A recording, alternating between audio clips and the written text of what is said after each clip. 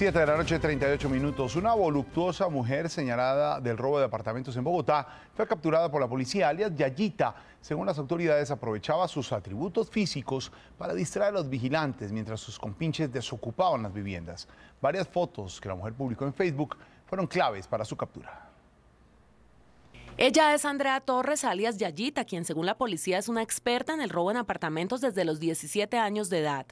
En varios videos quedaron grabadas sus andanzas como este hurto ocurrido el 11 de diciembre de 2013 cuando, según las autoridades, engañó a los propietarios de un edificio del sector de Corferias para hurtar varios elementos. Sabemos que ha participado más de 300 hurtos en la ciudad de Bogotá en los últimos 11 años. En este otro video del 27 de diciembre de 2013 se observa cómo durante aproximadamente 45 minutos alias Yayita entretiene al portero, mientras sus cómplices, dos mujeres y un hombre, ingresan al edificio y luego salen con su botín oculto en varios maletines. Haciendo uso de, de sus atributos físicos, engañaba a vigilantes, engañaba a personas y ella misma era quien ingresaba a los apartamentos.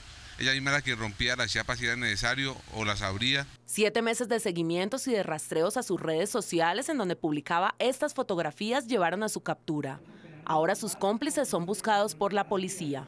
Por el delito de hurto calificado y agravado. ¿Correcto? Alias Yayita ya estuvo detenida por el delito de hurto agravado y calificado.